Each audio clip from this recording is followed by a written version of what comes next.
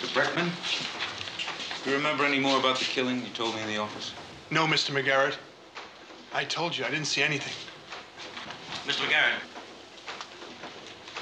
We've got nothing against you personally. It's just what you represent that bugs us. You do understand. I'm not even going to try.